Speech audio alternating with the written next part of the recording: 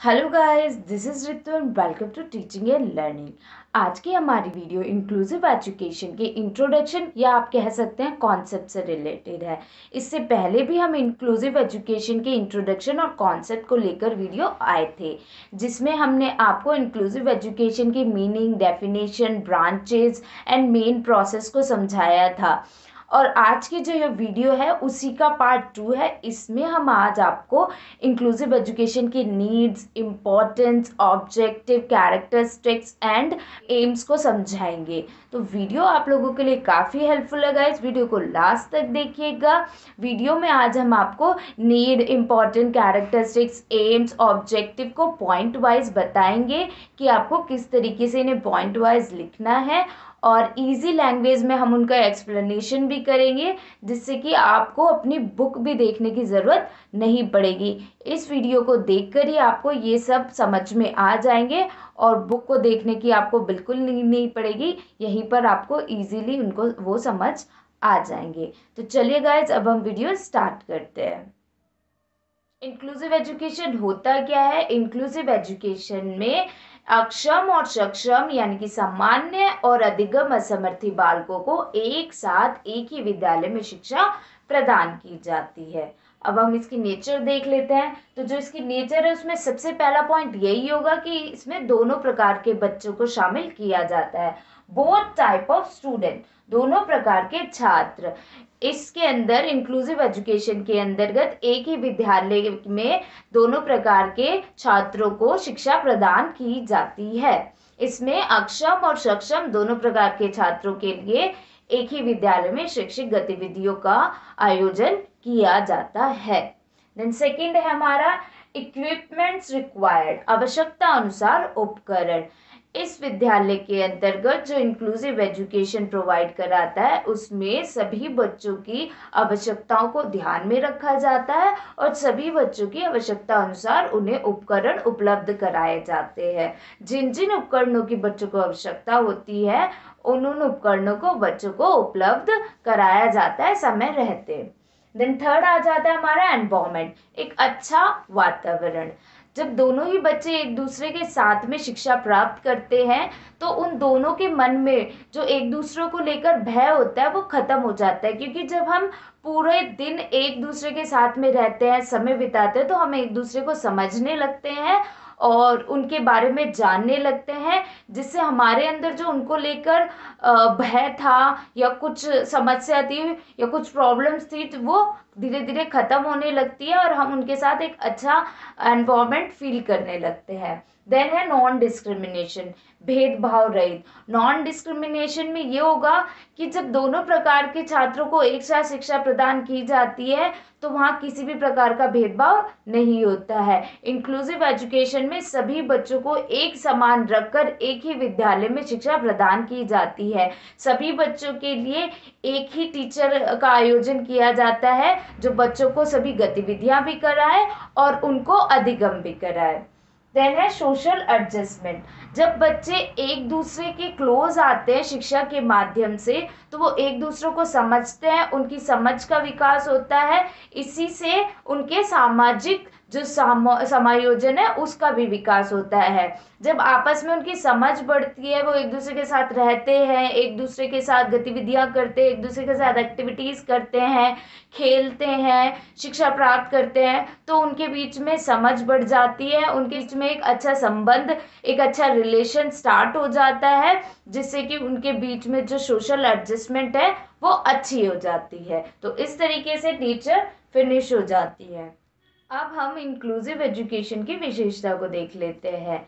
तो हमारी पहली विशेषता है लेस एक्सपेंस कम खर्चीली ये जो शिक्षा है, वो कम खर्चीली होती है क्योंकि इसमें अलग से स्कूल की ज़रूरत या टीचर्स की ज़रूरत नहीं होती है।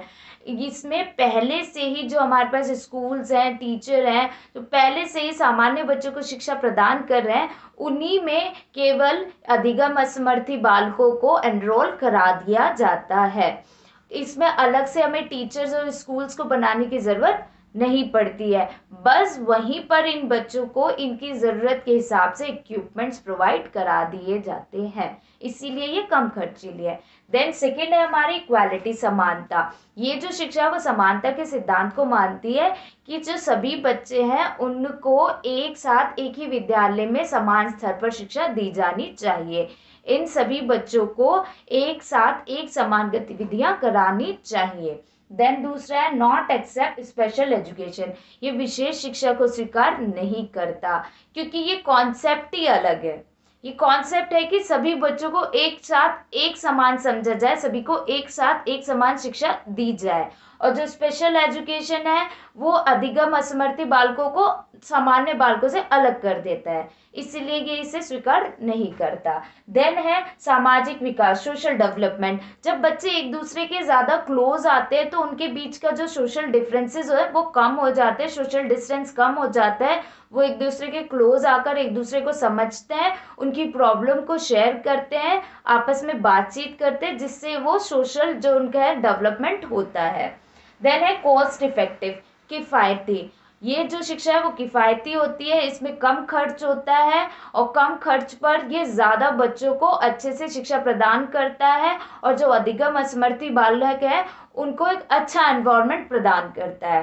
देन है प्रभावपूर्ण वातावरण इफ़ेक्टिव एनवायरनमेंट वही अगेन आ गया कि जब बच्चे एक दूसरे के साथ रहते हैं, एक दूसरे के साथ बातचीत करते हैं तो उनमें आपसी समझ का विकास होता है, जिससे कि एक अच्छा वातावरण क्रिएट होता है, जो अधिगम असमर्थी बालक है, जो अंदर से थोड़ा सा कॉन्फ्लिक्ट होते हैं उनको वहाँ अच्छा लगता है और वो वहाँ फिर रहना स्टार्ट कर देते हैं, उनका वहाँ मन लगना स्टार्ट हो जाता है।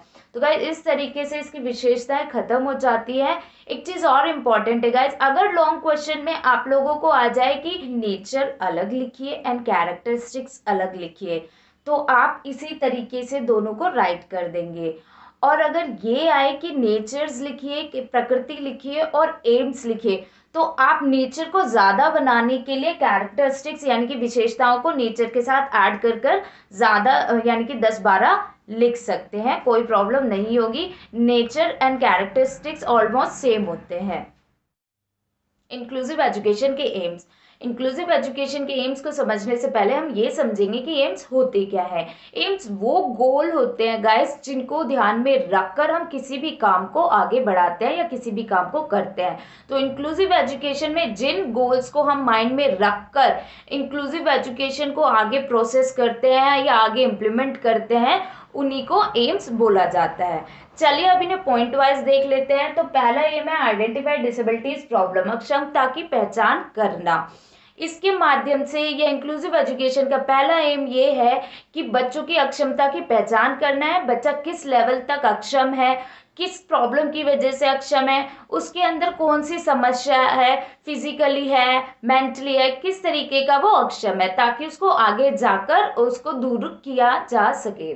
देन है सोशल एडजस्टमेंट सामाजिक समायोजन। सामाजिक समायोजन इसका दूसरा एम है कि सभी बच्चों में सामाजिक समायोजन की भावना को उत्पन्न करना है, सामाजिक समायोजन की भावना को बढ़ाना है। इसीलिए इसमें एक स्कूल में दोनों प्रकार के बच्चों की शिक्षा की बात की गई है, जिससे कि दोनों बच्चे एक साथ आए, उनके सोशल डिस्टेंसेस कम हो डिफरेंसेस कम हो, दोनों एक दूसरे के साथ रहें और एक दूसरे के साथ बातचीत करें और एक दूसरे को समझे, जिससे कि वो जानेंगे कि ये दोनों ही प्रकार के बच्चे एक दूसरे से अलग नहीं हैं, दोनों समाज का ही हिस्सा हैं। देन आ जाता है इक्वालिटी समानता। समानता से आप सभी समझते हैं कि सभी को एक समान रखना। इसीलिए इंक्लूसिव एजुकेशन ने एक ही स्कूल में दोनों प्रकार के बच्चों की शिक्षा की बात करी, जिससे कि सभी में समानता का भाव पैदा हो। सब एक दूसरे को इक्वल समझे, अक्षम बच्चे सक्षम को अलग ना समझे और सक्षम बच्चे अक्षम को अलग ना समझे। देन है स्टैब्लिश ऑफ़ न्यू सोसाइटी नए समाज की स्थापना। जब एक ही स्कूल में दोनों बच्चे साथ में पढ़ेंगे तो सभी के अंदर सोशल एडजस्टमेंट एडजस्टमेंट की भावना पैदा होगी। तो फिर धीरे धीरे क्या होगा? लोगों का जो अक्षम बच्चे हैं, उनके लिए विचार चेंज होंगे। उनके मन में जो उनके लिए थॉट्स हैं, पहले से कि ये हमेशा जो है, कृपा के पात्र होते हैं। ये अपने आप, अपना जीवन नहीं जी सकते हैं। इन्हें हमेशा किसी न किसी की ज़रूरत होती है जीवन जीने के लिए। तो वो वाली जो विचारधारा है, लोगों में बदल जाएगी और वो भी उन्हें समाज का हिस्सा समझने लगेंगे और इसी तरीके से एक नए समाज की स्थापना हो जाएगी। देन आ जाता है मेन स्ट्रीमिंग इन एजुकेशन शिक्षा को मुख्य धारा से जोड़ना। इंक्लूसिव एजुकेशन का मोस्ट इंपॉर्टेंट एम है कि शिक्षा को मुख्य धारा से जोड़ना। सभी बच्चों को शिक्षा की मुख्य धारा से जोड़ना इसका मेन मोटिव है कि कोई भी बच्चा शिक्षा की मुख्य धारा से पीछे ना रह जाए। सभी बच्चों को शिक्षा से जोड़ना है। मैंने आपको पहले भी बताया था कि हमारे संविधान का एक लक्ष्य है कि 6 से 14 वर्ष के सभी बच्चों को एलिमेंट्री एजुकेशन दी जाए। तो उस लक्ष्य को इसी के तहत पूरा किया जा सकता है। देन है आत्मनिर्भर सेल्फ डिपेंड बच्चों को सेल्फ डिपेंड बनाना। जो सक्षम बच्चे हैं, उनको भी सेल्फ डिपेंड बनाना, उनके अंदर भी ये भावना का विकास उत्पन्न करना है कि वो भी आत्मनिर्भर बन सकते हैं, उन्हें किसी की ज़रूरत नहीं है जीवन जीने के लिए।